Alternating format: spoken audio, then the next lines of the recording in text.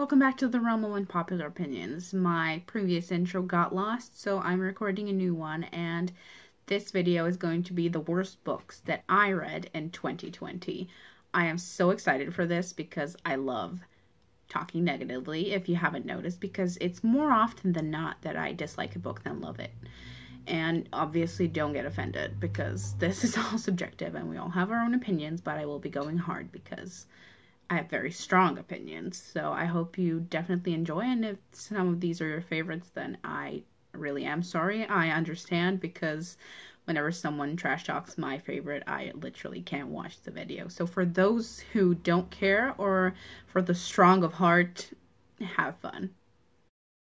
I may or may not absolutely lose my shit because this clip is just black for some reason and I was about to upload it. So I am redoing it now and the video is going up later, which I cannot believe I'm forced to do. I have a lot of crap to do for university. So I lost the first clip where I talk about the worst books of the year and my DNFs. And the worst book, first that I'm going to talk about is Lady of the Lake by Andrzej Sapkowski. That book was more of a disappointment than it was really bad because it was basically he gets you used to his fun and not taking anything seriously but also kind of deep style. And in the last book he just throws in something new and throws out any emotional development out the window basically laughs in your face if you cared about any of his characters and he's literally like, oh, yeah, everyone's dead, and you shouldn't care about any of this because the entire thing is a joke. And you kind of feel a bit insulted. I got the sense that he didn't want to write a serious series, and they wanted the finale, so he just threw that out and wrote the last book, which is fun again. But I still think it didn't have to exist because it was literally disgusting to read. It was insulting, emotionally draining, and is the longest of the series. So if you're ever going to read the Witcher series, just skip Lady of the Lake because frankly it was an insult to anyone who was reading that book. So please don't don't do that to yourself. That's the best advice that I can give you because the rest of the series is incredible. I have no idea what happened with that book. If he didn't want to write it, he should have just said so. And now my DNFs. I DNF'd three books this year. I don't normally DNF unless it's from the library, which is very rare, because when I pay for books, I sort of feel obligated to read them because money has been spent. But the first book is The Cerulean. I got that for my birthday, so I didn't spend my money on it, but I still felt kind of bad when I couldn't get past page 100. The characters were so boring, the setting was so boring, the writing was awful, just, I couldn't even, I can't believe I read that much. The next DNF was, I think, Anansi Boys by Neil Gaiman. And I had like a book club thing that we founded, me and a couple of other people, at the end of high school because we were in quarantine and we were seniors and we were very bored. So we read two books and I DNF'd both of them, and so did they.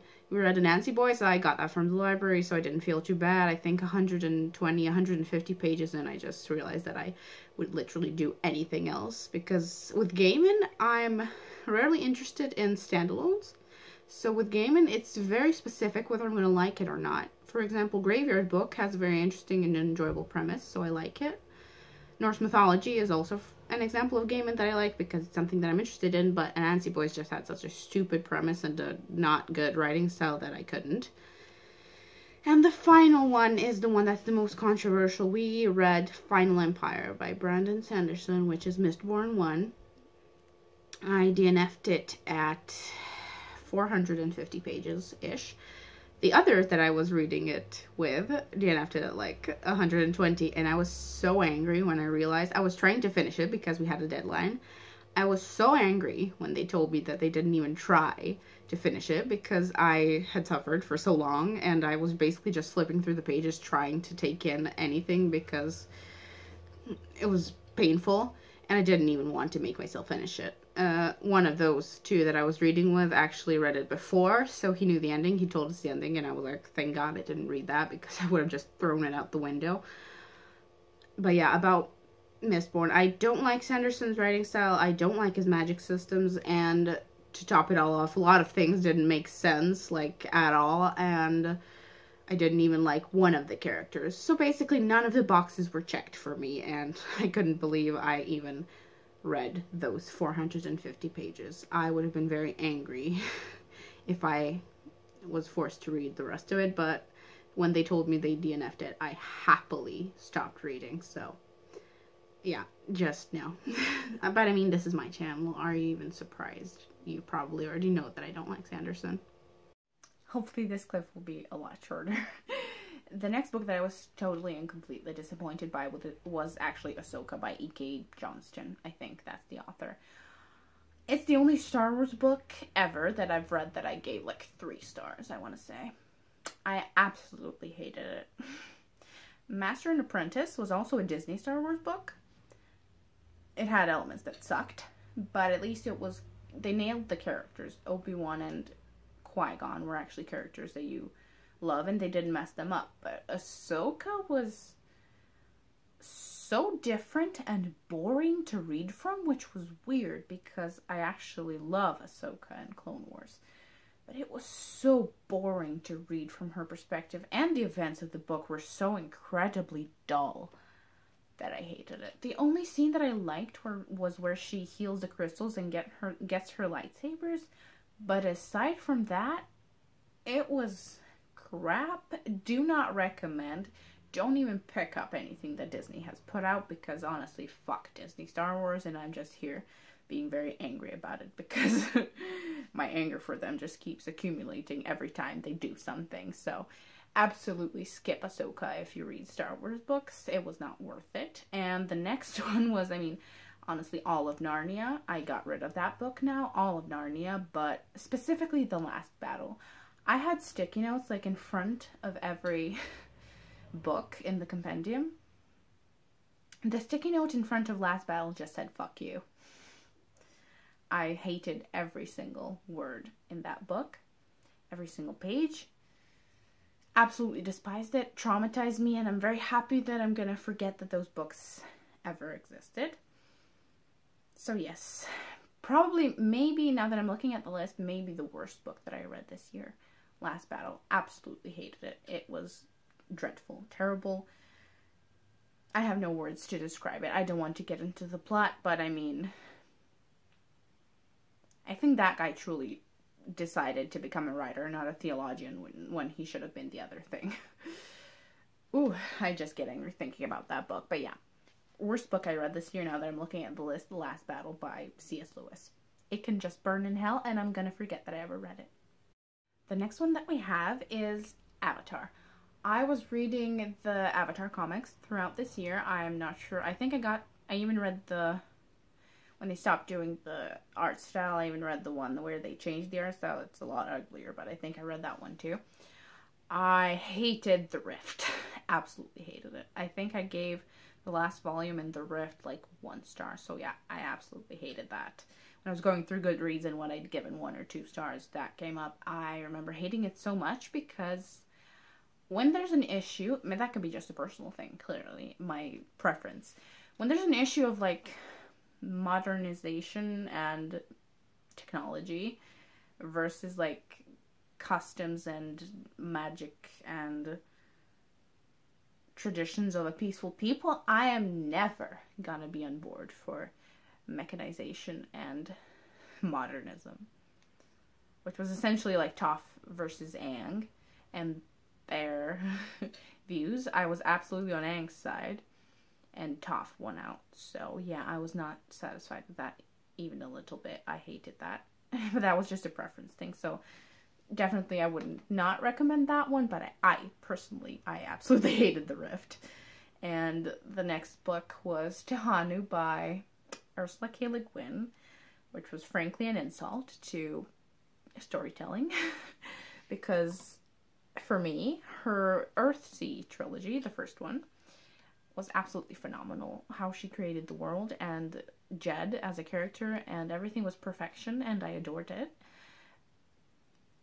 But what she did in Tehanu was take all that was good, throw it out the window, and start writing a feminist manifesto angrily. So I did not appreciate that even a little bit. she destroyed everything that was good about the series and then wrote an essay.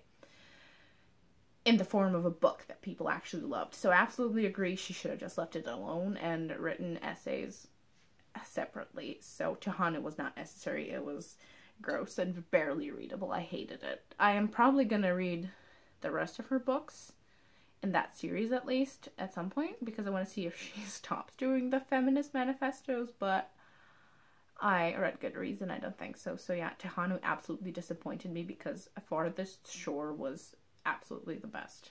You're gonna see it in the other list for favorites of the year. So absolute disappointment. Just don't move past the original Earthsea trilogy if you're gonna read Ursula's fantasy. So that's my best advice that I can give you. Now these two, next, the last two books, one of them I absolutely hated. D- Demon King by Cinda Williams Chima. I have a vlog for that. I despised that book. Absolutely hated it think I gave it one star, maybe two. I um, could be mistaken, but I hated how that book was constructed. All the tropes were terrible. None of the characters were likable. Nothing made sense. Some of the tropes weren't even like topically correct. It was weird that children are running a gang. I mean, if you want my thoughts, watch the vlog where I read it. It was recently, I think like September or October. I absolutely despised that book and sometimes not always because i'm not the type of person that's like if i hated a book i can see why other people would like it i normally don't actually see why someone else would like it for this i can't see why anyone would like it ever nothing was appealing about this book absolutely nothing i can't believe i actually finished it i feel like i read nothing and i remember nothing but the bad stuff but i remember everything being bad i didn't enjoy a single sentence of that book or a single page or a single plot point so Demon King. Absolutely hated that, and I'm so sorry that I actually made myself finish it, considering I didn't pay that much for it.